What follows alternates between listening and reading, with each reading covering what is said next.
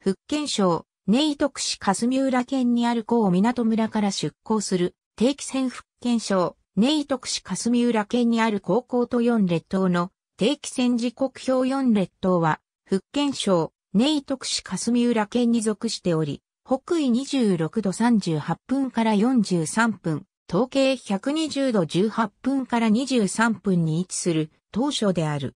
同列島は東シナ海上にあり、北島、南島、東島、西島、及びいくつかの岩礁がある。首都は北島である。古地図には里、真山や下山、戦前の日本では北総列島の記述で登場。四列島は四総列島とも呼ばれている。年平均気温は17.6度、年間降水量は 1080mm。総人口は2390人で島民の多くは漁業で生計を立てている。